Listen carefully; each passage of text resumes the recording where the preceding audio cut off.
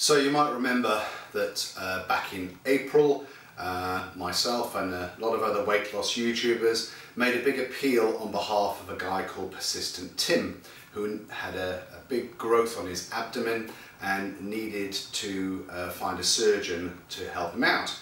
Now, the good news uh, about that appeal was that Tim did find uh, a surgeon to perform the operation um, and the surgery seemed to have gone very well.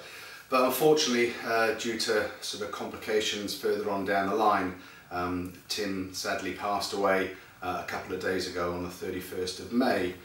So I just wanted to take a, um, take a moment really to uh, send my deepest condolences to uh, Tim's family at this very, very sort of difficult time. Um, you know, and to ask you out there if you're sort of religious, maybe have Tim and his family in your prayers, and if you're not, maybe just take a moment um, to remember Tim. Perhaps go along and visit Tim's YouTube page. Um, you can see what a great guy uh, that he was. Uh, maybe leave a comment there for his family to see how much he's, um, how fondly he uh, will be remembered.